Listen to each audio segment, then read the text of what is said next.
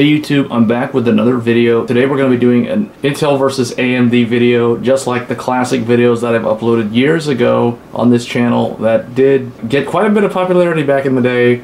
So today I've got a new one. On the left side, you guys can see we have the new 13th gen. This is the i9 13900K, uh, equipped with a Z790 Aorus Master from Gigabyte, along with 64 gigabytes of G.Skill memory at 5600 uh, megahertz.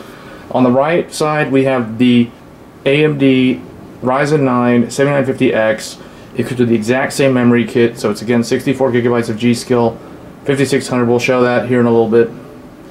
And then for the motherboard, we are using the Gigabyte X670E Aorus Master. So you can see on the top we have the boxes there. Uh, let's zoom in just to kind of show what we're going to be doing today. So today we're going to be doing a DaVinci Resolve rendering comparisons. We're going to be rendering a video in 4K, 30 hertz, because the original footage is a 30 hertz scene from Dragon Ball Z. So basically, we're going to take that video, which is a, uh, I think the original footage is a 480, 480p clip, and we're going to be converting that to 2160p um, with both of these using DaVinci Resolve. So just to kind of show the specs that we're working with, and just to show everybody there, you can see there's a 13900K with all of its cores, all, all of 32 threads, and likewise on the AMD side, we have the exact same number of threads. So we have the 16 core, 32 thread, 7950X. Uh, for the graphics card, they're both running identical GPUs. So they're both equipped with the Radeon RX 6900 XT. So you can see this one right here uh, and then over here on the AMD side, there's the Ryzen and CPU-Z, and then there's the exact same GPU. So same everything. You can see memory speed is at 5600 megahertz, so that's the rated speed of this RAM kit, 64 gigs. Uh, and then likewise on the AMD side, you can see 64 gigabytes, 5600 megahertz. So it's exactly the same identical GPUs, 6900 XT with 16 gigabytes of VRAM in both. Uh, and what we're going to look at here is how well an air cooler can handle them. So in terms of air cooling, we're using the Noctua NH-D15. Um, just to show that over here, we take a look down there. There's the AMD system. You can see in there, that in the Fractal Torrent case, we have the Gigabyte Aorus Master. And there's the Sapphire 6900 XT. And likewise in the Intel system, if we were to zoom in here, now this case is different, uh, but you can see it's down in there. We're using air cooling for both. So I'm going to try to click start at the same time, uh, but it doesn't really matter because the elapsed time is all that really matters. So we're going to click render all, there they go. And if we zoom in, or we just kind of look at this, so there's Intel, and you can see thermal throttling is happening, yes. Thermal throttling is occurring. AMD, uh, 84C, where is it? Thermal throttling is not happening. So that is interesting.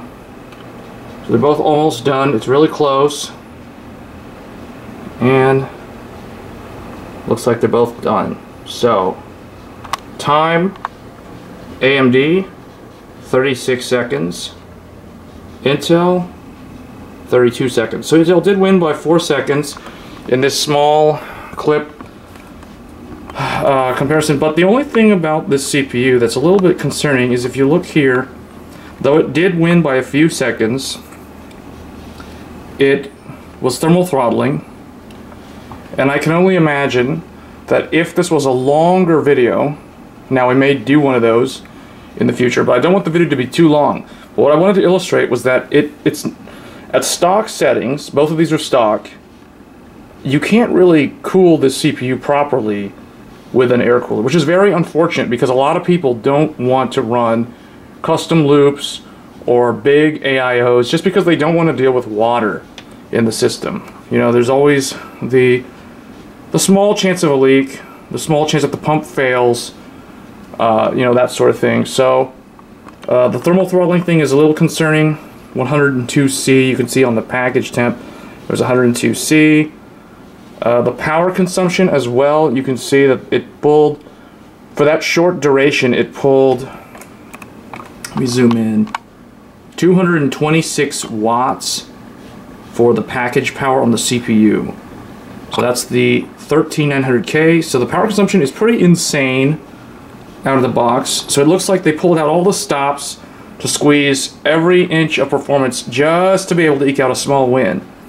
But if this was a longer test, I wonder how well the CPU would hold up if you're rendering like an hour plus long video at 4K. How well would this do? So it would be interesting to retest it on a longer render. But this was a very, very short render, you know, just over 30 seconds for a small DBZ clip. So 32 seconds.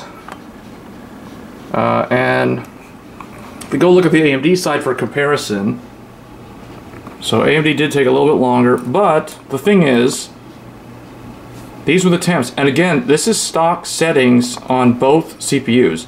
So you can see, so right there, the die was 82.7. So it didn't reach the 95C, which is interesting. We're on an air cooler. Um, and if we go down to the power consumption. You can see CPU package power, 156 watts right here. So it used less power. Uh, Intel was 226 versus this.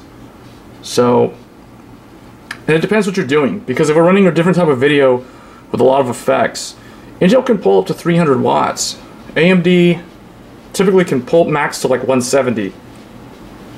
And then 230 for the socket. Um, but that's just something to keep in mind, right? And then the other thing is if we check the thermal throttling, thermal throttling right here, no, no, no.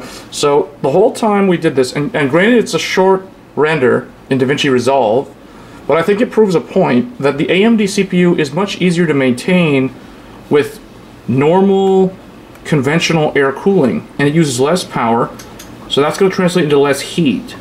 Now, what'll be interesting is to see what happens when we try to optimize both of these CPUs with things like PBO on AMD, setting power limits like I did in a previous video, um, or if we were to use Curve Optimizer.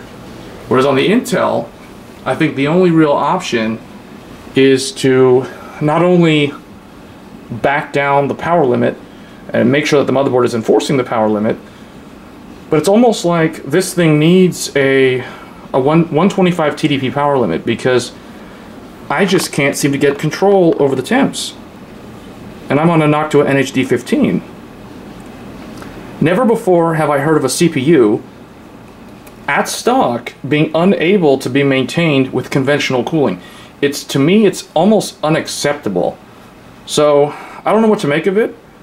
Uh, sound off in the comments below what you guys think. Uh, which do you think is the better solution? I personally am tending tending to lean toward AMD just because I feel like it's more refined. I can actually maintain the temps. I have a lot more options to maintain it. With the i9, yes, it's powerful, but, you know, at what cost? So anyway, guys, that's going to be it for me in this video.